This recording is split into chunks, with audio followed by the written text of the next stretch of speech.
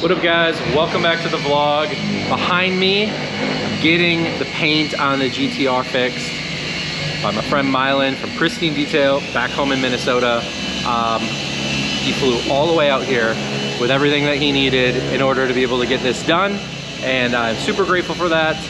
And we're already in the mix of it, so let's go check it out. You remember the paint on this thing was looking a little rough after ours day. Um, the track armor left some residue on it, and then uh, my car cover left a bunch of scratches on it. So the idea now is that we're going to get it paint corrected. We're gonna PPF the car so that way I can put it on the track without any worries about rock chips. And hopefully this will be the end of my uh, black paint nightmare, but not likely. So over here, there was all sorts of residue and marks and I'll put some video from ours in right here that shows uh, just how uh, the track armor kind of clung to the car in the heat. And then right here, none other than the man himself, Mylan Sleets. Hey, what's going on, guys? Pristine Detail, doing his thing. So we've got a line down the middle here of the new and the old, and while the camera may not be the best at picking this up, uh, I can assure you that this is not super cool. Uh, so you can see there's some weird markings. It almost kind of looks like a leopard print uh, kind of thing on it from the uh, track armor, which did do its job of preventing rock chips, but uh, came off a little bit more harsh than what I initially thought it might. What do you think? Ah, I mean, everything's cool. I mean, for the age of the car, I mean, it's pretty clean. Um, you can tell it had some paint work done. Um, essentially, what we're doing is just buffing and polishing the car, trying to get some of the imperfections out. Um, cleaning up the paint a little bit. As you guys will see, we're gonna do a little 50-50 split. So you can see the difference from a freshly polished car from a freshly painted, non-paint corrected one, if yeah. that makes sense. Yeah, yeah, yeah. I mean, I mean, you saw in the earlier vlogs, I was in a big hurry to get this thing done to put it on the track, which meant that uh, we skipped a few steps in beautifying it. It was more of a form over function or function over beauty, if you will, but we're getting the beauty aspect of it knocked out right now. All right, so we started on the other half of the hood. Alan's wiping it down, and it looks so much better than it did before. You can see a reflection in it actually, and it doesn't look like a thousand holograms. Um, right, so what are you using to do this? Show us what you got. Yeah, actually. I mean,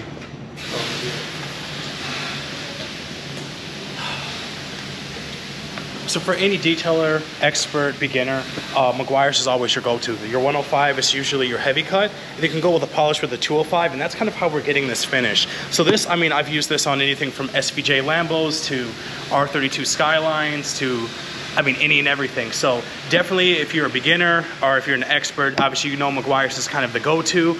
Um, we did a 105 to kind of give it the cut with a heavy cut pad, went around the whole vehicle, you know, got most of the imperfections out, some of the holograms that were already in there, then followed up with some 205 over there with a lighter white pad, which is, you know, pretty soft and went around the whole car and it really gave us some good results. So like I said, uh, you can find this typically at your local store, find it on Amazon, but Meguiar's is definitely something that you should try out. We are starting a new day with uh, none other than Mr. Mylan Sleets himself. And today we're doing some PPF work. And by we, I mean Mylan.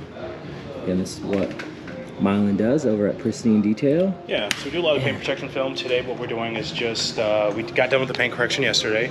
So we're just putting on um, some XPEL paint protection film on the heavy kind of impact areas, which are the fenders, rear quarter panels, hood. Um, we're just gonna lay that on so when you're doing any kind of track events or just daily driving, that paint's protected. Uh, this film is actually about eight mils thick, so it's gonna give you some pretty decent protection. Um, if it does incur any scratches or anything like that, you literally can just heat it out with the heat gun and disappear, and it kind of keeps the car looking nice. These films typically have an eight year warranty, so new, used, whatever vehicle you have, paint protection film is always a good investment. Especially for the track.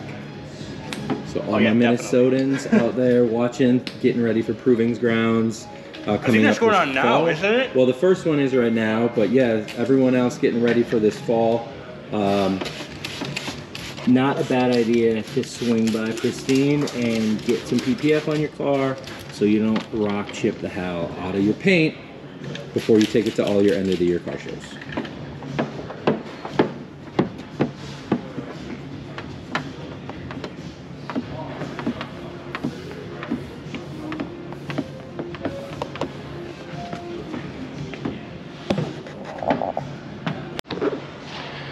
All right, so we got the first fender done, and I keep saying we, but by we I mean Marlon has the first fender done.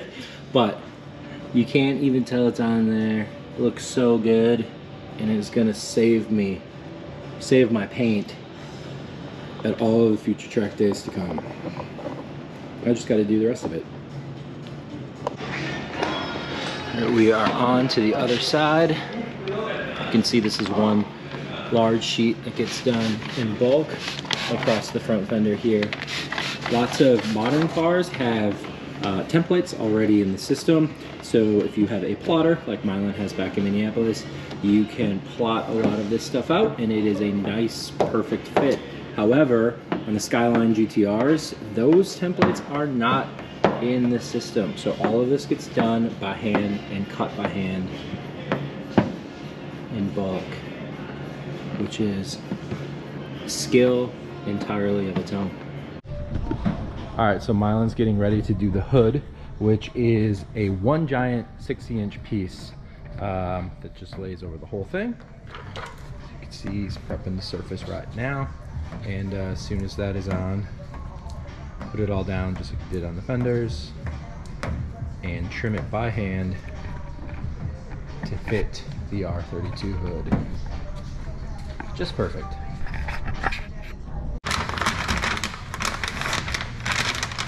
Some issues as well. That's okay. Um, I'm like, yeah, sorry. Lack of understanding of how hard I need to hold this.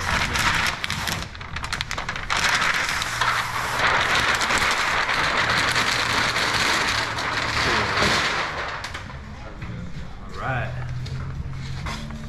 So this is what? It's baby, Just Baby- baby soap and um, baby soap and water distilled water, yeah. and distilled water.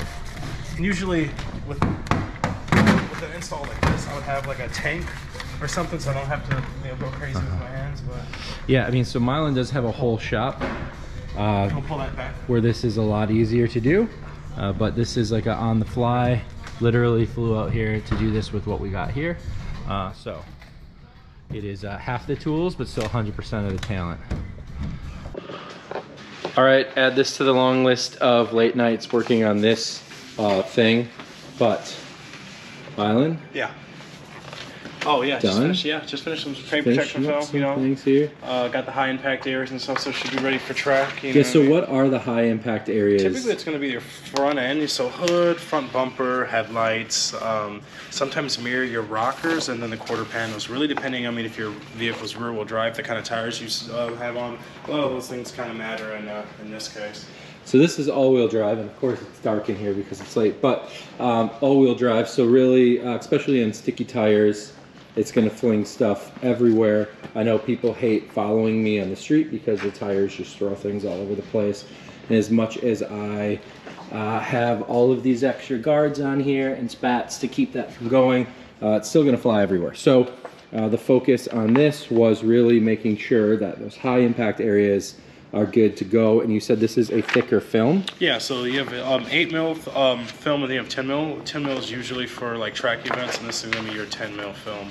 Um, a little thicker. And It doesn't look as pretty. Sometimes some people say there's orange peel in it, but like I said, the whole purpose of this is really to give it some protection while you're at the track. Right. That's the whole idea is to keep it looking clean enough to be presentable uh, and have it be my car where there's some level of expectation that the thing doesn't look all clapped out, but also still eliminate any of the fear I have of messing this thing up while I'm just ripping it.